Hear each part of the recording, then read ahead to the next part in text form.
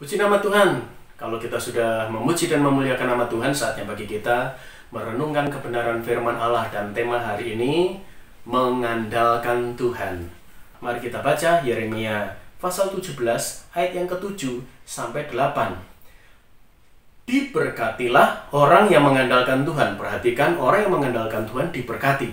Jadi kalau saudara ingin diberkati, andalkanlah Tuhan. Amin. Ayat selanjutnya berbunyi yang menaruh harapannya pada Tuhan. Mungkin eh, rekan-rekan memiliki harapan-harapan ke depan di mana engkau ingin memiliki masa depan yang indah bersama dengan Tuhan, engkau ingin menjadi uh, orang yang berhasil dalam karir, dalam pendidikan, dalam usaha, ya nantinya kelak pun ketika berumah tangga dalam rumah tangga supaya diberkati oleh Tuhan karena engkau rindu engkau diberkati seperti engkau melihat bagaimana orang tuamu dipelihara dan diberkati oleh Tuhan. Nah, ketika kita menaruh harapan kita kepada Tuhan, maka itulah gaya hidup orang yang mengandalkan Tuhan. Kita percaya bahwa Allah yang menjamin masa depan kita dan kita percaya bahwa Allah yang kita percaya adalah Allah yang hidup dan berkuasa. Dia Tuhan yang mempunyai surga yang nantinya akan memberikan hidup yang kekal bagi kita sekalian. Dan di dalam ayat yang ke-8, Allah menggambarkan kehidupan orang yang mengandalkan Tuhan, ia seperti pohon yang ditanam di tepi air. Ia seperti pohon yang ditanam. Kata ditanam di ayat ini menunjukkan orang yang mengandalkan Tuhan itu dia akan mendapatkan perhatian khusus. Dia akan berserah kepada kehendak yang nanam, pada kehendak Tuhan. Kata ditanam berarti Allah yang menanam.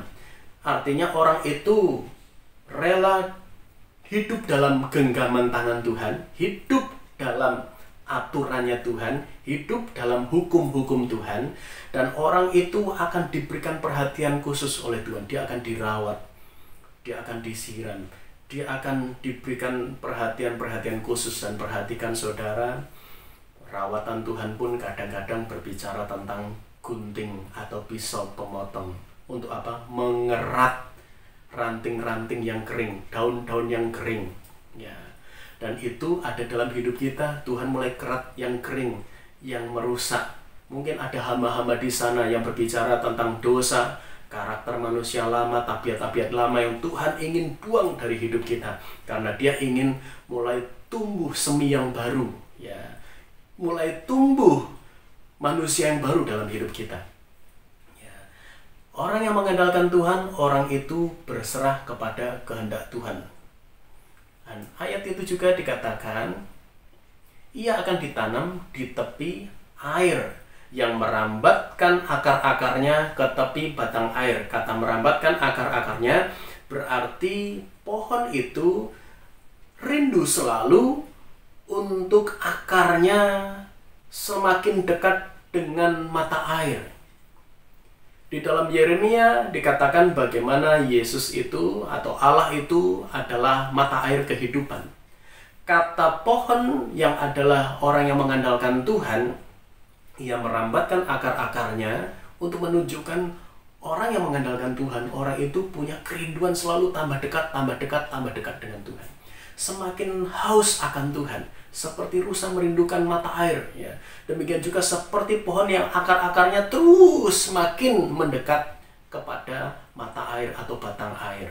Tujuannya apa? Supaya tidak akan mengalami kehausan supaya asupan atau kebutuhan air untuk pertumbuhan pohon ini tercukupi bahkan melimpah ya.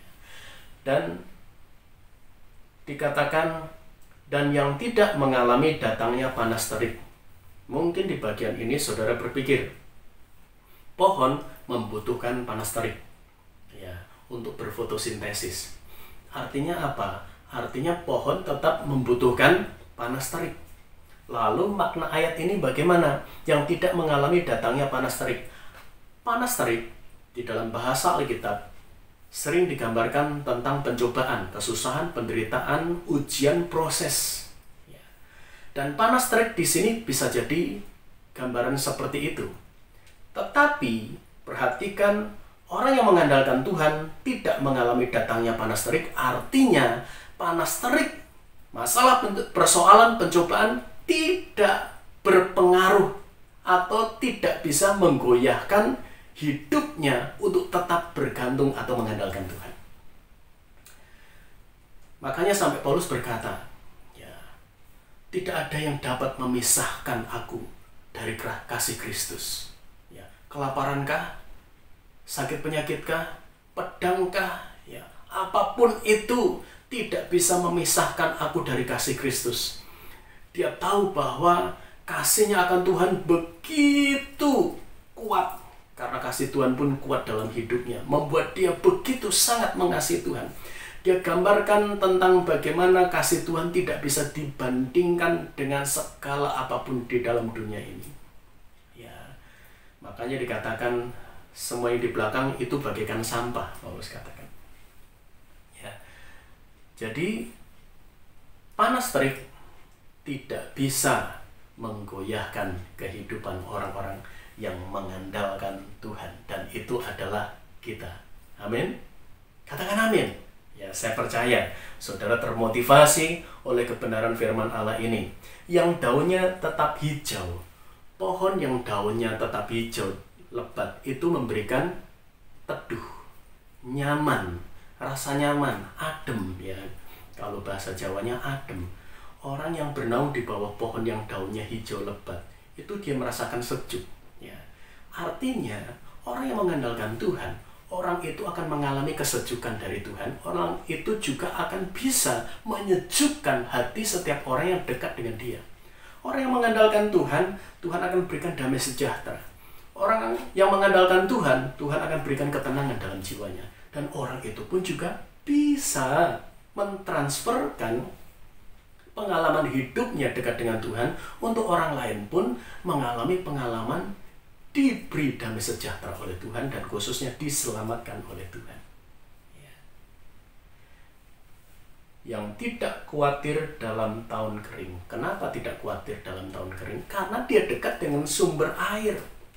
Orang yang mengandalkan Tuhan tidak khawatir tahun kering karena apa? Dia mengandalkan Tuhan, dia dekat dengan Tuhan, dia membangun persekutuan dengan Tuhan. Dan itulah kita. Amin, saudara. Dan yang tidak berhenti menghasilkan buah selalu bisa menjadi berkat. Buah kebenaran, ya hidupnya semakin lama semakin terang, semakin berfungsi untuk menerangi, menjadi berkat, menjadi garam, dan dikatakan menghasilkan buah-buah juga buah-buah pertobatan dari hari ke hari terus semakin kudus, semakin berkenan kepada Tuhan. Dan juga bisa menghasilkan buah jiwa-jiwa. Artinya bisa membawa jiwa-jiwa datang kepada Yesus. Menghasilkan buah yang bisa dikecap karakternya, hidupnya, bisa menjadi teladan. Orang bisa melihat kasih Kristus di dalam hidupnya. Karena itu seperti pujian tadi, pujian pertama di situ dikatakan ya uh, satu-satunya yang kuandalkan seperti tema kita ya.